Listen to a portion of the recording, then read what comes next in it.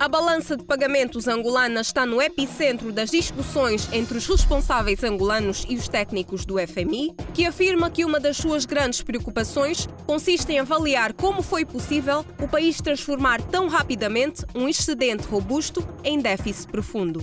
Estima-se que Angola tem hoje o 33º maior déficit do mundo. O FMI prevê que o país termine este ano com um déficit externo de 11,6%, quando em 2012 tinha um excedente superior a 12%.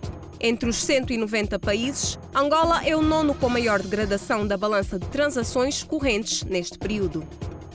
O BNA disponibilizou um montante de 106,9 milhões de euros na semana compreendida entre 30 de maio e 3 de junho para fins diversos, a uma taxa de câmbio de 186,264 kwanzas. Do montante vendido, 35,8 milhões de euros destinou-se para cobertura de necessidades de importação das empresas prestadoras de serviço ao setor petrolífero e o remanescente para cobertura de operações das seguintes rubricas: Ministério da Saúde, TAG, Ministério da Energia e Águas, Telecomunicações, órgãos de Estado e operações de natureza particular diversas.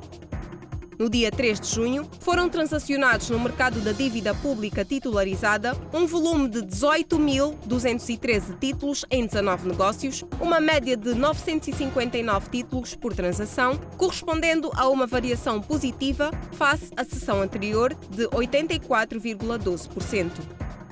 O euro está a ser transacionado a 186,264 kwanzas.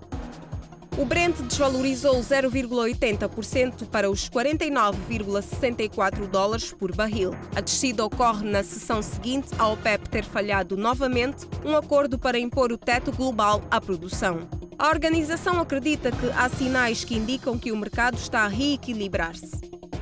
As principais praças norte-americanas encerraram a sessão de sexta-feira com resultados negativos, com os investidores expectantes sobre o próximo passo da Fed num cenário de fragilidade do mercado de trabalho. Na Europa, os mercados acionistas não escaparam ao cenário de incertezas dos Estados Unidos da América, numa sessão marcada pela aversão ao risco pelos investidores. Estaremos de volta amanhã com mais notícias dos mercados financeiros.